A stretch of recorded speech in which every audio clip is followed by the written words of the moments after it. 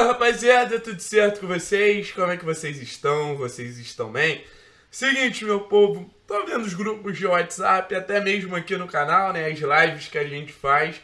A torcida do Atlético debatendo muito em relação ao tamanho e a prioridade que o Atlético deve dar em relação a, ao Campeonato Paranaense, né? Porque a gente está chegando em setembro, o Campeonato Paranaense ainda precisa ser disputado.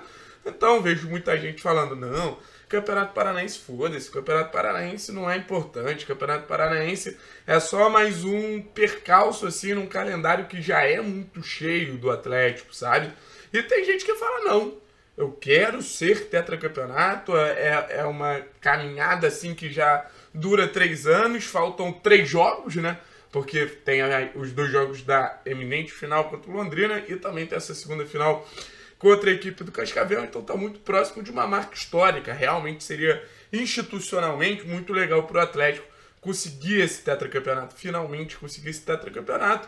Você tem o rival da cidade ainda com, com a maioria dos títulos quando o assunto é Campeonato Paranaense, então para diminuir essa vantagem, para você criar um cenário ali de, de porra, o Atlético é disparado no Clube do Paraná, cara, então você precisa ter um domínio local também. Então acredito que a torcida do Atlético pense é, em grande parte dessa maneira, né? Mas tem o jogo contra o Cascavel. Antes da gente pensar de título, a gente tem que chegar na final, né? Primeiro jogo, um jogo bem ruim, bem desagradável, um 0 a 0 assim, que era nítido, claro, cristalino, que, que o Atlético não estava muito com vontade de jogar. Atlético é, poderia ter feito uma vantagem. Se a gente for pensar nas situações de gol ali, você tem o gol do Eric, mas logo depois você toma um empate, mas mesmo assim não é um Atlético que cria um volume de chances suficiente para falar, nossa, o Atlético massacrou o Cascavel, o empate foi um acaso, não. O jogo foi isso aí mesmo, o jogo foi um 0 a 0 o jogo mereceu ser um 0 a 0 então é um ponto a ser levado em consideração. E eu acho que é o primeiro debate para a gente entender se a gente vai com o time titular ou o time reserva, né? Primeiro ponto é entender que o Cascavel ele vai desfalcado. Os casos de Covid, o próprio técnico tcheco, alguns jogadores ali não vão estar disponíveis da equipe do outro lado. Então é um Cascavel organizado, é um Cascavel que faz uma boa Série D, é um Cascavel que já vem de um bom paranaense, sabe? Então você vai pegar um time ali mais enfraquecido. Mas meu, minha questão não é nem o que vem do outro lado, é o que a gente pode proporcionar. Porque o time reserva, você tem ali uma expectativa de, cara, esses jogadores eles estão querendo virar titular de alguma maneira, sabe? Então, por exemplo, um Léo Citadini, um Fernando Canezinho, um Eric, um Kaiser, sabe? Não são jogadores que estão é, na fase, por exemplo, do Carlos Eduardo. Eles poderiam olhar para o jogo contra o Cascavel com uma oportunidade de falar: Antônio Oliveira, me observe porque eu estou querendo e eu estou merecendo ser titular. A questão é que esses jogadores, um Kelvin, um Jadson, é, eles estão cada vez mais acomodados na reserva. Hoje o Atlético ele passa por um grande problema, que seja do time titular ou seja do time reserva, a gente vê um grande número de jogadores acomodados. E eu não estou falando isso à toa, é só pegar Atlético e Cascavel para a gente perceber o quanto poderia ter sido diferente se imprimisse isso aqui de ritmo. O Atlético com o time reserva, nesse campeonato paranaense, já fez jogos muito melhores. O próprio jogo contra o Curitiba, cara. Sei que é decidido com dois gols do Vitinho, mas a equipe melhor, a equipe tem um volume de chances, você tem uma partida bem melhor de Cadu, de Canezinho, de Kelvin, sabe? Então o Atlético chega nessa fase da temporada se questionando da possibilidade dos jogadores que ele vai poder usar no jogo contra o Cascavel e da possibilidade de jogadores que ele vai usar ao longo da temporada. Isso é muito preocupante, sabe? Então, dentro de um cenário, o Atlético que pode potencializar peças mas eu não sei se essas peças vão querer ser potencializadas. Esse é o grande ponto, sabe? Eu não sei se, se os jogadores que já sabem que vão sair, os jogadores que, que pô, tem ali um indício que não devem continuar no clube, eles vão entrar motivados.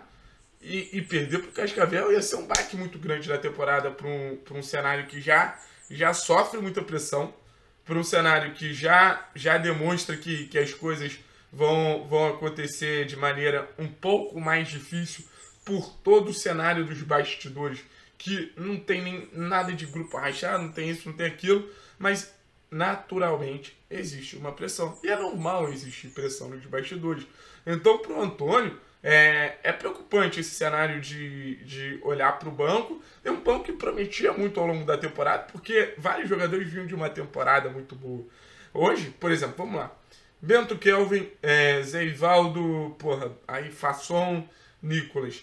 Você tem, do meio para frente principalmente, Eric Citadini, Jadson, é, Carlos Eduardo Canezin e Kaiser. Cara, vários desses jogadores foram jogadores importantes temporada passada numa campanha de G4 no retorno. Então existia a expectativa, beleza, mudou o modelo de jogo, eles deram uma queda, mas pelo menos seguir ali entregando alguma coisa, o que não acontece hoje. Beleza, a gente vê uma inércia dos nossos reservas. Aí se pensa, cara, vamos botar o titular e se classificar e é isso. Entendendo que o calendário do time titular é muito complicado que o Antônio ele precisa desse tempo com os jogadores para treinar, para tentar desenvolver algum padrão, para tentar desenvolver alguma variação tática, sabe? Então, beleza, jogou contra o esporte no domingo, se representou segunda tarde, aí vai ter a terça já vai jogar contra o Cascavel? Será que é isso mesmo que vai ser, é, pô, vai entregar mais para a temporada do Atlético? Cara, não sei, não sei. Acho que mais vale uma sessão de treino para a equipe principal do que um confronto contra o Cascavel. Mas também o confronto contra o Cascavel pode ser é, uma parte do treino, já que a exigência é menor, já que a viagem é menor também. Sabe? Eu não descarto botar alguns titulares. Não descarto, por exemplo, botar é, um Bissoli, um jogador jovem, não botar um Abner, esses jogadores assim que aparentemente estão mais prontos fisicamente, estão mais inteirões fisicamente. Pode ser um caso ali para você olhar e falar, beleza, vamos optar por um time misto, mas também optando por esses jogadores, por um Bento. Olha, por exemplo, do time que jogou contra o esporte. Bento. Aí você bota o Pedro Henrique, que está precisando melhorar. Você bota o Abner, você bota o Eric, você bota o Christian, você bota o Bissoli, já é outro time. O, o Thiago Heleno descansa, o Nicão descansa, são jogadores ali que, que merecem mais essa folga, sabe? Aí você vai entrar em outro assunto que é muito importante, que a gente já falou da carência das possibilidades do elenco do Atlético, dos jogadores reservas que não vem rendendo. Eu acho que pode ser esse o grande X da questão do confronto. Sei que a gente já fez nosso apelo, tô até respirando fundo para trocar essa ideia com vocês. Cara, mas não vai ter outra oportunidade melhor pra gente testar os jovens jogadores, Antônio. Se você tá sem reserva para colocar, testa, Antônio. Porra, enfia um Rômulo no ataque. Pô, pelo menos manda pro banco e bota pro jogo. Cara, testa o, o, o Juninho Silvestre de volante, cara. Porra, olha pra sua base, olha para onde tem talento. Base do Atlético é lotada de talento. Vamos falar das possibilidades só de jogadores da base que poderiam atuar? Na zaga não tem nem o que falar, né? Luan Patrick. Sabe, Luan Patrick, para mim, é o grande mistério da temporada do Atlético. Um jogador que merecia muito mais oportunidades do que realmente vem tendo. Um jogador, assim, de de um nível muito alto, de uma personalidade muito boa, assim. Os momentos que foi exigido na equipe principal, sempre cabeça em pé, saída de jogo muito boa, diferente, por exemplo, até do que o Pedro Henrique está demonstrando. Então já é uma opção clara para a gente utilizar, sabe? O Luan é um jogador que merecia mais oportunidades até na equipe principal. Aí você pode pensar outras peças, como eu falei, o próprio Juninho, uma alternativa ali, um Richard que vai sair, um jogador dinâmico, um jogador de boa batida, de bola parada, um jogador que flutua muito no campo, chega como elemento surpresa, chuta bem de longe. Cara, por que não, sabe? Por que não? É um, é um cascavel desfalcado.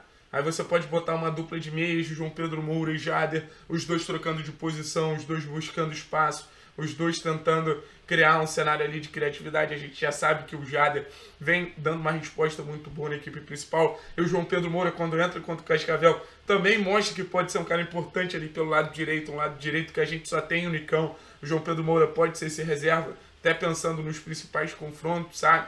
Porque a gente vai pegar Santos e Penharol, e como Santos e Penharol, dentro de um cenário, conseguem ser competitivos? Apostando na base. Se você for falar de, porra, do time do Penharol, é Canóbio, Augustinho Álvares, é Facundo Torres, né? Pô, Giovanni Rodrigues, Cepelini. É uma galera que, que ou o clube descobriu ou o clube revelou, que, porra, é o que sustenta esses times. Então que o Atlético cria uma sustentação através desses jovens jogadores. Aí respondendo vocês. Tiago, você acha que o Atlético deve ir com titular contra o Cascavel?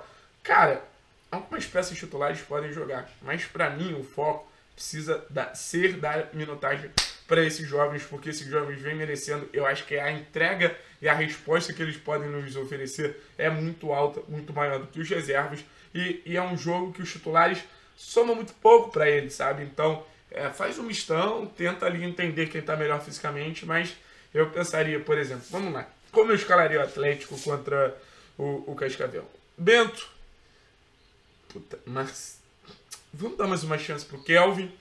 Luan, Zé e Nicolas. Pô, na defesa, bem. Meio campo, Juninho. É, o Cetadinho não pode, né? Juninho, Eric. Jader, João Pedro Moura. Aí você pensa em. Pô, não vou falar o Carlos Eduardo. O Pedro Rocha não pode jogar. É, bota o Julimar e, e o Bissoli. É um elenco equilibrado ali, sabe?